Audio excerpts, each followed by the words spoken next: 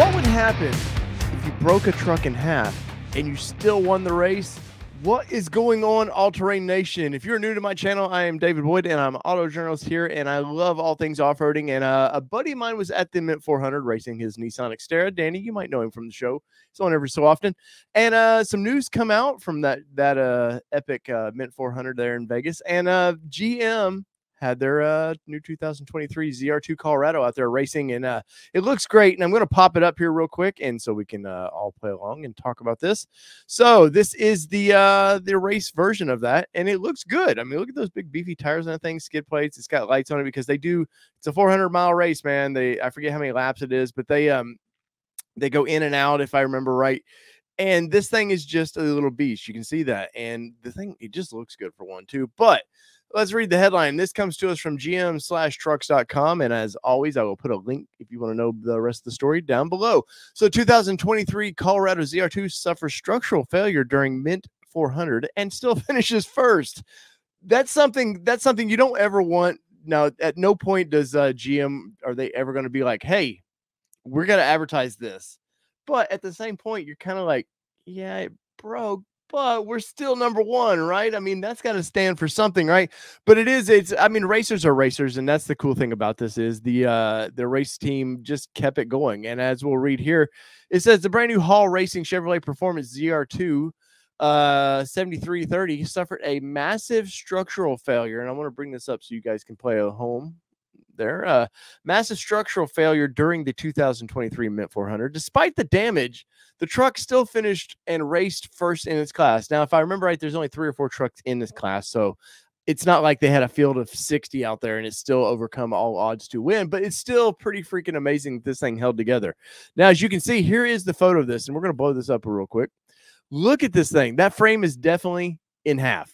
Like, there's no way around it. You can see the rear glass here has been blown out um, probably a tire or something from the cab went into it but the thing still finished and i love it man look at this and it's pretty much a stock vehicle. Now the tires i do not believe those are the tires that come on this i think those are a little bit heavier duty uh looks like a bf goodrich hard to tell from this photo um but that thing is uh it's beat to hell. Now this is definitely probably this truck i would leave it alone I would take it to the GM headquarters, let them go over it, which is probably more than likely what's going to happen. Headquarters will go through it. Engineers going to want to see the failure points. But these trucks are they're bobbing through the desert. If you've never seen the Mint 400, the way these guys race, they're in all kinds of silt.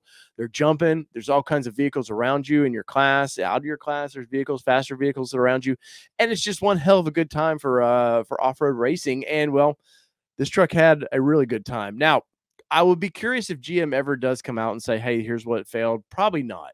At no point, I know Chevrolet's made aware of this. It does say this in this article that they were been made aware of this, and they, uh, you know, they'll probably no comment. Let me see here if it does say anything on past this. Let's see. The Silverado, despite took first in the uh, Mint 400, despite having a some rear end damage and on the pre-production frame. Notice that. That's very cool. That's very. uh We gotta we gotta cross our T's and dot our I's there. This is a pre-production frame, which is it? More likely, no. I mean, it's they they don't change much up about that, but it is good to know about this failure point now before the ZR2 production runs start happening. And they have not started producing this truck whatsoever. So if you're interested in buying a new ZR2, don't fret.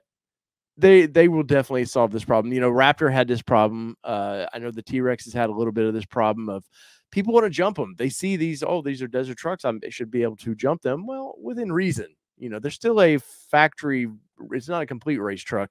And uh let's see what uh has to say here. So truck 7330 Chad Hall driver.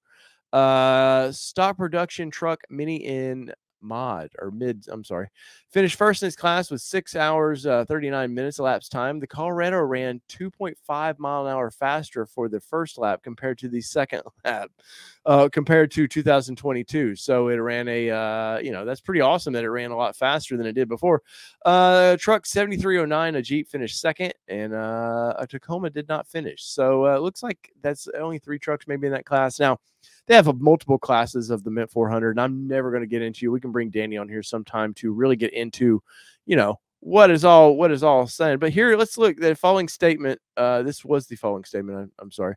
And um, uh, where are you guys at with this? What do you think of this? Was this badass or what? Now, once again, they're going to solve this problem. This is not something that if you want to order a ZR2 when the time comes that you're able to do it, that you're going to have to worry about. But it's still uh, it's still pretty cool that the damn thing finished. So in the comments below, you know what to do. Let me hear about your uh, your comments and opinions on this thing. So whether it be two wheel drive, four wheel drive, or these broken trucks that some of us have to race and drive, this has been your All Terrain Nation. I'm your host David Boyd, and we are out. Peace, everybody. Love y'all.